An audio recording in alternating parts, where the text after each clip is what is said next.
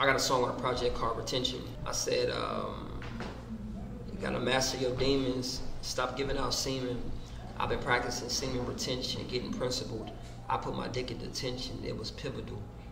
Um, and yeah, that's, that's, you know, so I'm talking about uh, retention, man. Like, that's what I've been practicing um, lately is, is semen retention, man. Um, and, and honestly, just just keeping myself to myself. You know, when you start really trying to, you know, have something I don't know, real in, in, your life, man, and you know, your mind so cluttered, you know what I'm saying, with sex, you know, it throw you off, you know what I mean? Then your lust start having you skip steps, and I skipped a whole bunch of steps because of uh, my lust. So, um, I've been practicing semen retention, man, and, and, and, retaining in general and abstaining in general, um, and it's, it's, it's really, uh, it's, it's, it's been a beautiful journey, you know what I'm saying, because um, I'm able to use that energy, you know what I'm saying, and that strength and that, and that, that mindset for other things um, and honestly, I'm able to just align myself, man. And you know, and when you're in church and, and, for religious reasons, they teach you to, to, to you know, abstain, and but they don't teach you. They that ain't never worked for me. I ain't gonna lie. You know what I'm saying? Because while they was encouraging me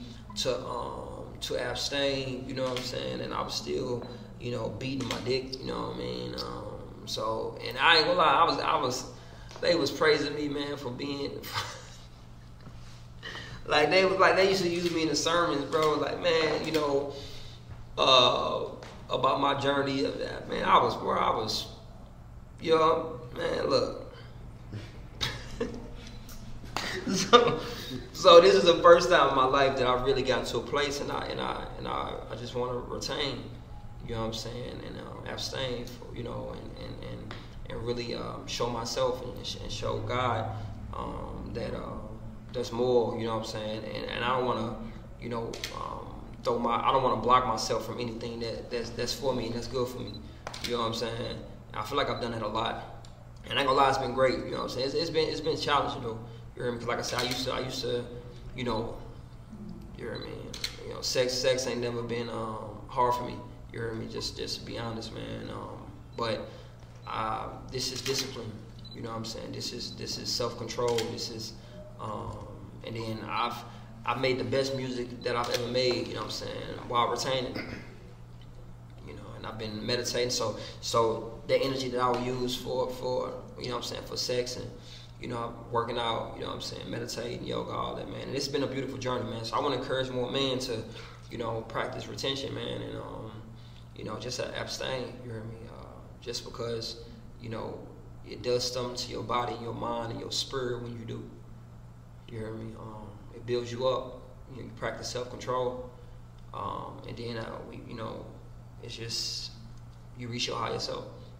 So I'm reaching my higher self, man. But like I say, you know, so this books, this books and stuff that I share, man. I, I um, it's stuff that I've, I've, been reading. You know, what I'm saying about semen retention, um, and um, like I said, abstaining and, and, and, stuff. So I'll share that. But uh, it's been a beautiful journey so far. You know what I mean? And, and, I don't know how long I'm gonna do it. You know what I'm saying? I don't know how long, whatever, whatever. But right now, that's a journey I'm on. It's a practice.